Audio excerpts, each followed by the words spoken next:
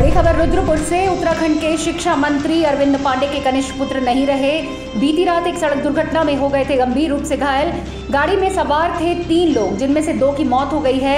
एक गंभीर घायल बताया जा रहा है। एक विवाह समारोह में जाते वक्त बरेली के समीप यह हादसा हुआ है और घर से गोरखपुर जा रहे थे। शादी समारोह में अंकुर पांडे के साथ ही उनके पारिवारिक मित्र जो कि घायल हुए थे, उपचार के दौरान दोनों की मौत हो गई है। अरविंद पांडे के पुत्र अंकुर पांडे और उनके मित्र मुन्ना गिरी की मौत हुई है और एक गंभीर रूप से घायल है जिनका इलाज अस्पताल में चल रहा है। तो बड़ी खबर है, उत्तराखंड के शिक्षा मंत्री हैं अरविंद पांडे, जिनके कनिष्ठ पुत्र अब हमारे बीच में नहीं रहे हैं। बीती रात एक सड़क दुर्घटना में गंभीर रूप से घायल हुए थे और उपचार के दौरान उनकी मौत हो गई।